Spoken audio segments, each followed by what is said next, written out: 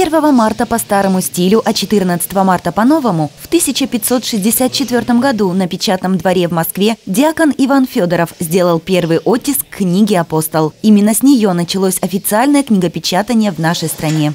Эта книга используется всегда во время богослужения до сих пор, но в те времена и сейчас тоже эту книгу можно было иметь и дома, чтобы изучать Священное Писание, читать ежедневно эту книгу.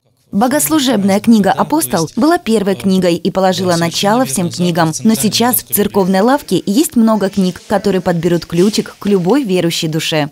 Ведь православные книги – это не только Священное Писание, Евангелие, книги Ветхого Завета, это книги святых отцов, это книги о духовной жизни, это книги, в которых содержатся проповеди современных духовников. К ним можно отнести художественную литературу. Во многих семьях есть добрая традиция читать вечерами всей семьей, читать своим детям. Для детей, как и для взрослых, церковное книгопечатание может предложить много духовных книг. И День православной книги таким образом в этих семьях отмечается каждый день.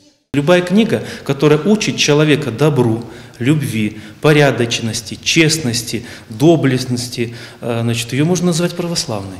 И хотя современная жизнь диктует свои правила, и век высоких технологий есть электронные книги, мобильные телефоны, планшеты, компьютеры, чтение обычной печатной книги и шелест ее страниц заменить невозможно. Виолетта Ефименко, Юлия Соболева, Светлана Разганова, Десна ТВ.